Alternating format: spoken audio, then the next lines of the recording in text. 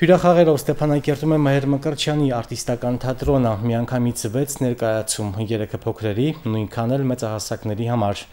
Ջանի Ռոդարիի Չիպոլինոյի արկածները, Հեքիաթի եւ Լևոն Շանթի կայսեր պատմական դրամայի բեմադրություններով սկսվեց հյուրախաղերի առաջին օրը։ Արչևում հանդիսատեսին սպասում են կատակերգություն եւ հանդիպում Շեքսպիրի հետ։ Ստեփանակերտցիներին այս թատերական տոնը ապարգևել են Երևանի եւ Ստեփանակերտի քաղաքապետարանները ԼՂ մշակույթի եւ երիտասարդության հարցերի նախարարության աջակցությամբ։ Արցախում մենք մոտավորապես 5-րդ անգամ ենք, եթե չեմ սխալվում, մոտավոր 5 կամ 6 տարիներ առաջ ենք եկել, գալիս ենք 1-2 ներկայացումով իհարկե,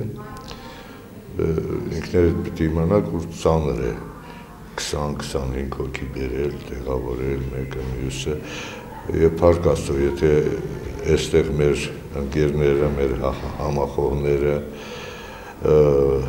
իշխանավորները, որոնք հարգում սիրում են արվեստը, թատրոնը, եթե չլինեն,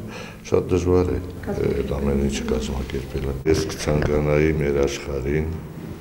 մեր Հայաստանի մաս կազմող